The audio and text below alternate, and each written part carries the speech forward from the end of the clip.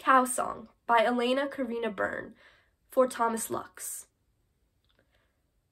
I heard them, far off, deep calling from behind death's invisible floor door. Their wallow metronome from the after rain mud was one giant body.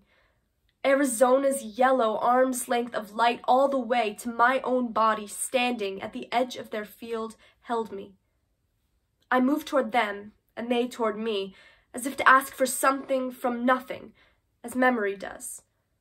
Each face dumbfounded, dumb and found by the time frame of my own fear surrounded at dusk.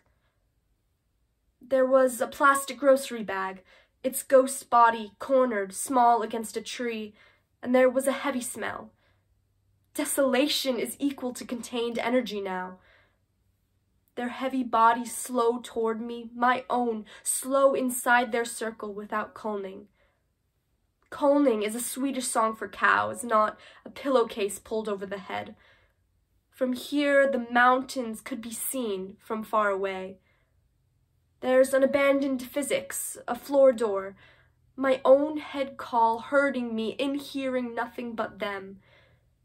Bone for bone's female indicates the inside of the mouth when singing is grief alone and is curved.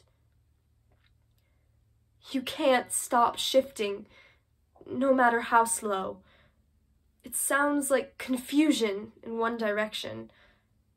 I wanted to tell you this in your absence. It sounds like the oak. It sounds like the oak of floorboards in God's head.